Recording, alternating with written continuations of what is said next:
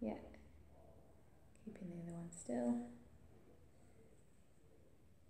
And pull it back in and then switching sides.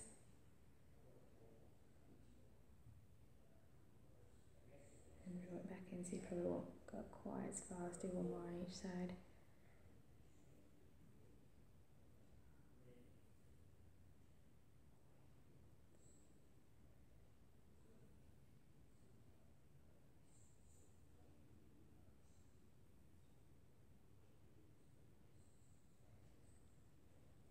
and then scissors.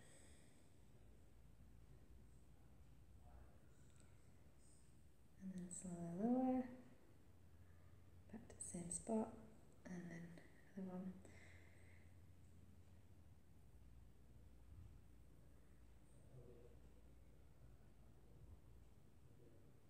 And one more on each.